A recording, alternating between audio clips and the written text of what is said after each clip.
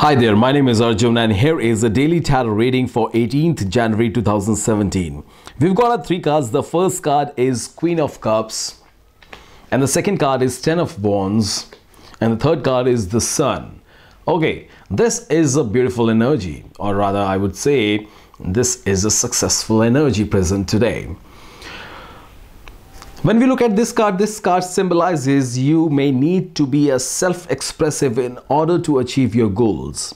The use of imagination and creativity is very important to increase your outcome. You may find yourself involved in creative projects, art, music, literature, and things of beauty. This is a positive energy and when we move from this card to this card, the Ten of Wands, this card shows that you are unnecessarily holding onto some kind of a burden when you do not need to. If you are feeling weighed down by your present circumstances, look at your circumstances from different angle and try to lighten the load. When you do so, your productivity will go up. And uh,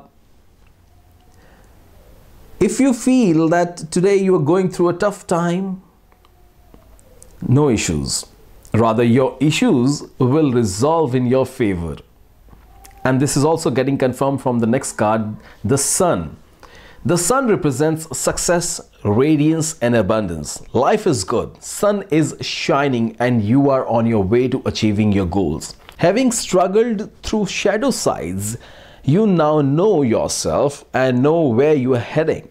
And the Sun illuminates your path experience the freedom and liberation associated with living the simple life and doing what you enjoy most. So eventually, when we look at the energy, this day turns out to be a success. So this was a reading for 18th January 2017. If you need your own personal reading, you can contact me. My contact details are given at the end of this video. And uh, it would be great if you like, share and subscribe this channel. I'll see you tomorrow.